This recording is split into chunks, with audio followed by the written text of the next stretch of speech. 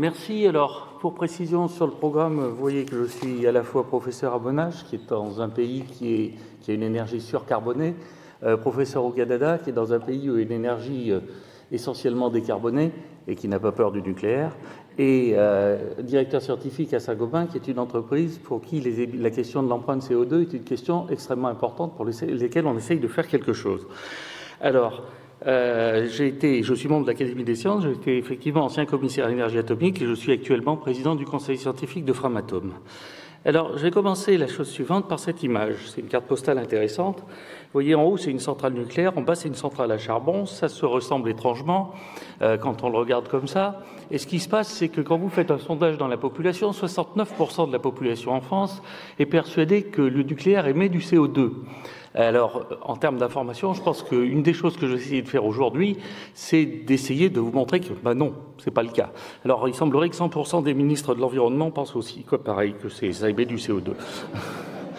Donc, si je regarde l'intensité carbone de production d'électricité par pays, vous voyez l'endroit où il y a la flèche rouge, c'est là où se trouve la France. Elle a une, intensité carbone pour l'électricité qui est faible. Et la raison, elle est assez simple, c'est une raison historique qui dépend de décisions stratégiques qui ont été prises dans les années 73. Et là, je suis un peu comme Voldemort, vous savez, dans Harry Potter, celui dont on ne doit pas dire le nom. Eh bien, je vais vous parler de nucléaire pendant les 20 minutes qui me restent. Alors, je vais vous parler de nucléaire en essayant de vous expliquer d'abord comment ça marche, vous parler des risques, vous parler du cycle du combustible, des ressources et des déchets, vous parler du démantèlement des centrales, esquisser la question de combien ça coûte, Ensuite, je vous parlerai des matières, de l'énergie et de l'emprise au sol, et de la nécessité, qui me semble essentielle, d'une vision à long terme. Alors comment ça marche? Essentiellement, une centrale nucléaire, c'est une grosse machine à vapeur avec une source de chaleur un peu particulière qui est liée à la fission des atomes. Donc vous avez un atome qui se fissionne en deux, atomes, ou bien qui peut éventuellement absorber un neutron. Et quand il se fissionne, il émet d'autres neutrons, et ces autres neutrons qui sont émis vont permettre de fissionner d'autres atomes. Donc en fait, c'est toute une logique qui est une logique de l'économie de neutrons qu'on a dans une centrale nucléaire.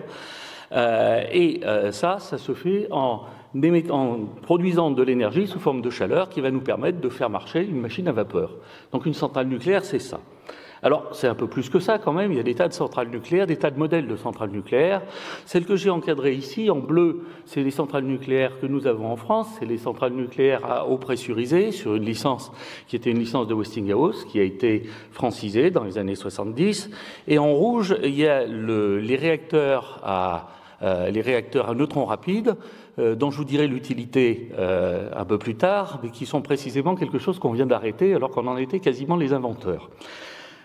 Alors, les risques qu'on peut avoir dans le nucléaire. Il y a beaucoup de risques. Et il y a des risques qui sont bien explicités et je pense que c'est important de les connaître, de ne pas les nier. Alors vous avez eu quatre accidents majeurs, l'accident de Windscale qui a fait essentiellement zéro mort, l'accident de Three Mile Island qui a fait zéro mort, l'accident de Tchernobyl fait entre 4000 et 5000 morts. Ça, c'est des estimations qui sont liées à l'OMS, c'est des estimations qui sont liées à l'UNSCAR, c'est-à-dire avec un organisme qui fonctionne à peu près de la même manière dont fonctionne le GIEC. C'est la façon dont on estime ces nombres. En ce qui concerne Fukushima, il y a eu zéro, mort. Alors maintenant, dans la presse, vous entendez l'accident de Fukushima a fait 20 000 morts. Ce qui a fait 20 000 morts, c'est le tsunami. L'accident de Fukushima n'a pas fait de mort. Il a fait deux morts sur la centrale parce qu'il y a quelqu'un qui s'est pris une, poutre sur la tête et un autre qui a fait une crise cardiaque.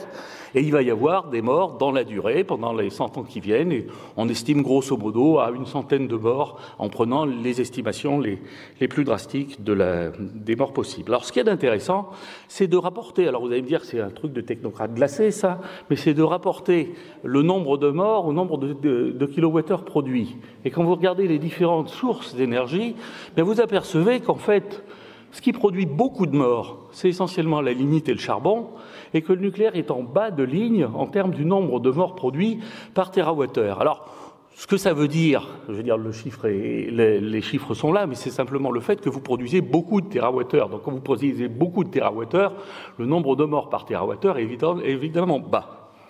Alors maintenant, je vais vous parler du cycle du combustible, parce qu'on s'obsède sur la manière de produire de l'énergie nucléaire à partir des réacteurs, mais il est important de voir que c'est l'ensemble qui est important. C'est important, c'est de voir quelle est la ressource, quel est l'outil qui produit de l'électricité et quel est, le, et quel est le, devenir des déchets et le devenir de l'outil. Donc, comme il y a plein de qui circulent sur ce sujet, je vais vous expliquer un peu comment ça se passe. Le cycle du combustible en France, dans le mode réacteur ou pressurisé, vous prenez de l'uranium qui a qu'une petite partie de cet uranium qui est bon pour les centrales, si vous voulez. Donc vous enrichissez l'uranium, vous le mettez dans une centrale nucléaire, au bout de trois ans, vous le ressortez.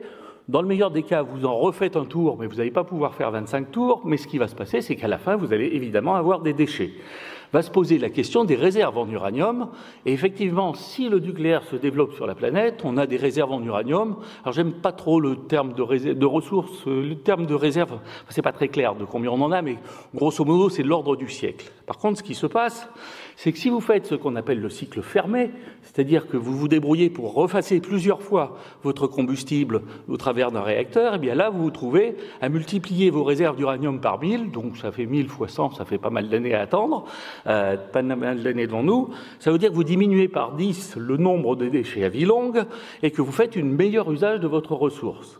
Donc ça, pour faire ça, eh ça veut dire qu'il faut développer ce qu'on appelle les réacteurs de génération 4, qui sont des réacteurs qui ne sont pas rentables tout de suite parce qu'on n'a pas de carence d'uranium, mais qui à terme, en multipliant la, la demande sur l'uranium, pourraient devenir rentables et qui de toute façon ont la fonction de pouvoir stabiliser le bilan en plutonium, c'est-à-dire de maintenir à un niveau suffisamment bas les déchets créés. Alors maintenant, les déchets, puisque c'est encore quelque chose dont on dit toujours, le, le nucléaire, le gros problème, c'est qu'on ne sait pas faire le problème des déchets, ben vous avez une tonne de combustible. Cette tonne de combustible, au bout de trois ans, vous vous retrouvez avec des, des produits de fission, c'est ceux qui ont cassé l'uranium, vous en avez 35 kilos. Vous avez euh, du plutonium, qui est, euh, vous en avez à peu près 10 kilos, et puis vous avez un facteur 10 en dessous, qui est ce qu'on appelle les actinides mineurs. Alors ils ont tous des noms exotiques, du style neptunium, américium, curium, etc. Alors maintenant, la logique de ces choses-là, c'est qu'on les vitrifie, et la fonction du verre, c'est de confiner les produits de fission. Et ces structures vitrifiées, vous les enterrez et vous les enterrez en. C'est ce qu'on appelle le stockage géologique profond. Et ce qui se passe, c'est que là, d'une certaine manière, l'ingénieur a botté en touche. Ce qui permet de confiner les éléments radioactifs, c'est la, la, couche d'argile. Et la couche d'argile fait que les actinides, ceux qui vous embêtent, ceux qui ont des durées de vie très longues, et les actinides mettent longtemps à ressortir. Et ils mettent longtemps à ressortir parce que c'est la chimie qui les force à pas ressortir. Quand vous avez les éléments qui sortent, en fait, compte tenu de la chimie, ils font des petites inclusions, des petits précipités, et les cailloux, ça bouge moins vite que, que les atomes. Alors, ce qui se passe, c'est que, et ça a été dimensionné comme ça, le stockage géologique profond qui est envisagé à, à Bure, euh, donc sur 500 euh, mètres de cailloux et 50 mètres d'argile, eh bien, ce que vous avez ici, c'est la ligne rouge qui va vous dire, eh bien, à cette date-là, voilà le moment où on sera revenu à un taux de radioactivité qui est essentiellement le taux de radioactivité naturelle. Alors, je termine. L'histoire actuellement, les déchets qu'on a, les déchets qui sont vraiment pénibles, c'est-à-dire les déchets à haute activité et les déchets à vie longue, ces déchets sont entreposés en surface, à l'usine de La Hague et à Marcoule pour ce qui est de déchets particuliers qui sont les boues bitumées. Et l'idée, c'est à terme de passer vers un stockage géologique profond qui, met en œuvre ce que je vous disais, c'est-à-dire que le confinement des éléments radioactifs se fait par le verre pour les produits de fission et se fait par l'argile pour les actinides, c'est-à-dire pour les éléments plus lourds. Alors le démantèlement, ça c'est aussi quelque chose qui passe régulièrement, c'est on ne sait pas démanteler les centrales. Eh bien c'est juste pas vrai. Vous avez 149 réacteurs en arrêt définitif dans le monde fin 2013. Vous en avez 119 dans le démantèlement en cours. Vous en avez 6 où on a ramené le démantèlement euh, au niveau zéro de radioactivité, au niveau de, la radioactivité naturelle. Vous en avez même deux à Grenoble qui ont été démantelés de manière absolument admirable, mais qui étaient des réacteurs qui n'étaient pas des réacteurs industriels. Donc on l'a fait pour des réacteurs qui étaient des réacteurs d'études. Alors ça, ça m'amène à vous, signaler la chose suivante, c'est qu'en fait, dans le démantèlement, on a trois situations distinctes. Le démantèlement des installations de série en fin de vie, ça peut tout à fait se faire de manière économiquement viable. C'est une espèce de Mikado géant, si vous voulez. Quand on l'a construit, on sait le démonter. Euh, ce qui n'est pas vrai, c'est que ça, vous, ça, va vous créer des emplois parce qu'il faut à peu près euh, fois moins de personnes pour démanteler une centrale que pour la faire fonctionner. Euh, ce qui n'est pas vrai, c'est que ça va se faire très vite parce qu'il faut une trentaine d'années pour démanteler correctement une centrale. Si vous regardez les installations uniques, c'est-à-dire typiquement l'installation de Grenoble ou d'autres installations, là c'est plus difficile parce qu'il faut faire des stratégies au coup par coup. Mais ce n'est pas des choses impossibles, ça coûtera cher, mais on sait démanteler ces choses-là. Ce qu'on ne sait pas faire, c'est de démanteler des installations en situation accidentelle. Ça, on ne sait juste pas comment se dépatouiller de quelque chose comme la, centrale de Fukushima ou quelque chose comme la centrale de, de Tchernobyl. Alors maintenant, combien ça coûte? Alors je ne suis pas économiste, j'ai trop de respect pour cette discipline pour faire semblant de l'être, donc j'ai demandé à un certain nombre de collègues, dont Jacques Percebois, de me fournir un certain nombre de données. Alors Évidemment, ça n'a échappé à personne que le, réacteur de Flamanville coûte de plus en plus cher. Là, on doit en être en 11 milliards. C'est quelque chose comme le coût multiplié par 3 depuis 2012. Ce que ça, ce que ça veut dire, c'est la signature du fait qu'en n'ayant pas construit de centrale pendant longtemps, on a juste perdu l'habitude d'en construire. Donc ça veut dire qu'il faut que le tissu industriel, que le tissu des entreprises qui sont capables de faire ça, se reconstruisent et se remettent en place. Ceci dit, si vous voulez aller dans le détail des coûts euh, du nucléaire et des coûts des renouvelables, je vous recommande vivement la lecture des rapports de la Cour des comptes, qui fait partie des rares endroits en France où on peut encore penser, librement. Alors, je continue les coûts de production qui sont ici. Euh, ce qui est important pour le nucléaire, c'est, voyez, la différence entre le nucléaire ancien, vous arrivez à un coût de production de 40 à 80, le coût de nucléaire nouveau, c'est grosso modo deux fois plus. Euh, donc ça coûte beaucoup plus cher. Je ne suis pas économiste parce que si j'étais économiste, je pourrais sûrement vous trouver une raison pour arrêter une centrale nucléaire qui est parfaitement amortie, dont l'autorité de sûreté indépendante vous dit qu'elle n'est pas dangereuse, et, et qu'on l'arrête quand même. Parce que ça, comme économiste, j'ai un peu du mal. Mais enfin bon. Euh, si je continue la fragmentation des prix, la fragmentation des prix de l'électricité actuellement entre 2006 et 2018, la part de l'énergie, c'est 43% en 2006, 36% en 2018. La part des réseaux, c'est à peu près 39 ou 30%. Et la part des taxes, on va bientôt avoir une énergie complètement décarbonée. Si elle arrive à être à 100% de taxes, ça devrait pouvoir se faire. Euh, mais la, part des taxes est en gros de l'ordre de 30% maintenant.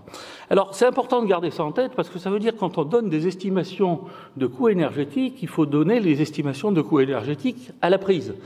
Autrement dit, est-ce que ce qu'on est en train de développer, c'est quelque chose qu'on peut faire avec le réseau existant ou est-ce que ça nécessite de développer un réseau pour pouvoir se mettre en état de le faire? Alors, je vais terminer avec quelques exemples, quelques questions qui me semblent intéressantes. Toutes les sources d'énergie, sans exception, ont besoin de matériaux qui sont spécifiques à ces sources d'énergie. On a besoin de matériaux qui sont spécifiques. Euh, par exemple, quand on fait des éoliennes, on a besoin des aimants pour, euh, fabriquer, les, pour fabriquer les, les, rotors dans les, dans les éoliennes. Quand vous faites du nucléaire, vous avez besoin d'uranium. Euh, mais vous avez besoin de matériaux non spécifiques aussi. Et il se trouve que la physique nous aide du côté du nucléaire, c'est pour une raison toute simple.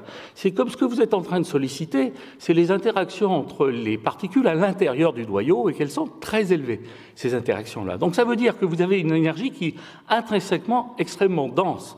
Et cette énergie intrinsèquement extrêmement dense signifie qu'en fait, pour ce qui est des matériaux non spécifiques que vous utilisez, ben ces matériaux non spécifiques sont cette, cette énergie, l'énergie nucléaire est extrêmement économe en matériaux non spécifiques comme le cuivre, comme l'acier, comme le béton, comme à peu près tous les matériaux dits de structure.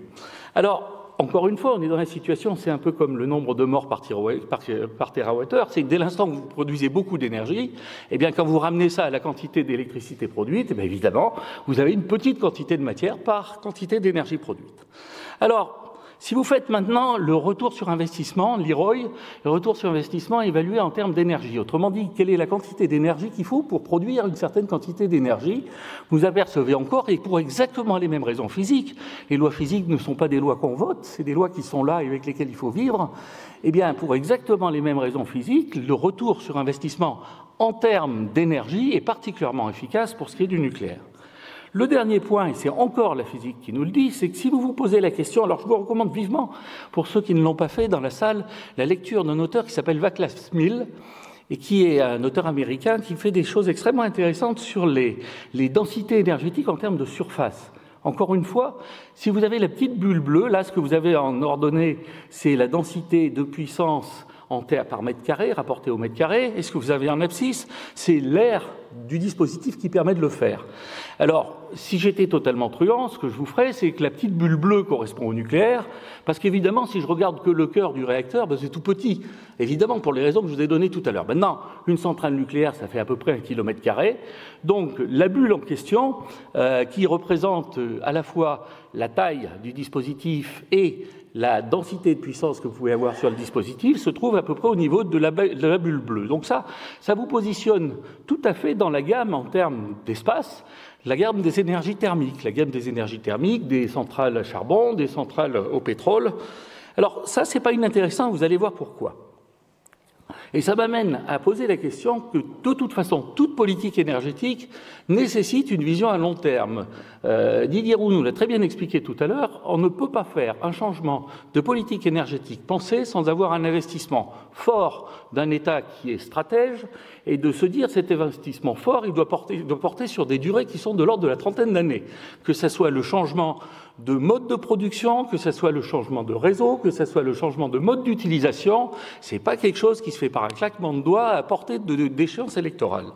Alors, si je regarde la nécessité d'une vision à long terme, ben, la première chose, c'est que si ce pays a envie encore d'avoir des, industries manufacturières. Ben, les industries manufacturières demandent des énormes quantités de matériaux. J'entends les voitures, les, bâtiments, enfin tous ces trucs-là. Hein. Ça demande des énormes quantités de matériaux, d'énergie. La production du CO2 est importante et on a une nécessité d'avoir des sources centralisées ou un réseau de transport renforcé ou un mode de stockage de masse ou l'ensemble. Et ça, vous le voyez très bien sur ce diagramme-là, où j'ai replacé la petite bulle. Ben, la petite bulle, elle correspond grosso modo à ce que vous avez au niveau de raffinerie, au niveau d'industrie sidérurgique, par exemple. Donc ça veut dire, la position de ces bulles vous dit grosso modo, est-ce que je vais être obligé ou non de pouvoir avoir un réseau qui va m'amener l'électricité à l'endroit où j'en ai besoin? Alors, une chose qui est intéressante, c'est qu'évidemment, le, sabir habituel consiste à dire ouais mais ça c'est tout du passé, les industries manufacturières on n'en veut plus, on va aller du côté du numérique et de l'économie digitale. Et quand vous regardez l'économie digitale, actuellement l'économie digitale c'est 5 à 10% de la puissance électrique mondiale, en France ça correspond à 7 réacteurs nucléaires, ça fait une croissance de 6,6 par an entre 2007 et 2017. Ça va conduire nécessairement à, des nouveaux à une croissance en termes de nouveaux besoins, la voiture autonome, la 5G, etc. Donc toutes ces choses-là font que demain, j'ai un peu du mal à imaginer qu'on pourra se passer d'électricité. Donc, et même qu'on va avoir une décroissance de l'utilisation d'électricité. Alors j'en arrive maintenant à mes conclusions. La première conclusion, c'est que l'énergie nucléaire fournit déjà en France une électricité essentiellement décarbonée. La deuxième conclusion, c'est que c'est une forme d'énergie qui est peu consommatrice de ressources de matière, d'espace et d'énergie grise pour sa production. La troisième euh, conclusion, c'est qu'elle répond aux besoins d'énergie pour des secteurs industriels qui nécessitent des ressources énergétiques denses et stables. Le problème du réchauffement climatique est global. Les leviers d'action sont locaux. Les solutions les mieux adaptées peuvent parfaitement varier d'un pays à l'autre et d'un besoin à l'autre. L'urgence du problème, dont on nous a parlé toute la journée d'hier, nécessite à la fois de développer des solutions déjà disponibles et de lancer des programmes de recherche cohérents pour les solutions à venir. L'énergie nucléaire nécessite pour se développer de manière durable une stratégie dans le long terme des investisseurs publics. L'échelle de temps n'est pas celle des marchés financiers. Et enfin, la coexistence des ENR et du nucléaire soulève des questions de flexibilité du parc qui impliquent des adaptations de réseau, des moyens de stockage et de gestion des centrales, et il est important de prendre tout ça en compte. Alors, je vais terminer en paraphrasant notre ami Jean Jouzel qui a dit si on ne fait rien, on va, cuire à petit feu. Eh bien, la question que j'aurais envie de poser, c'est quand on est dans une maison en flammes, est-ce que la manière la plus raisonnable d'agir, c'est de, de, jeter par la fenêtre les extincteurs en prétendant qu'ils contiennent de l'essence? Je vous remercie de votre attention.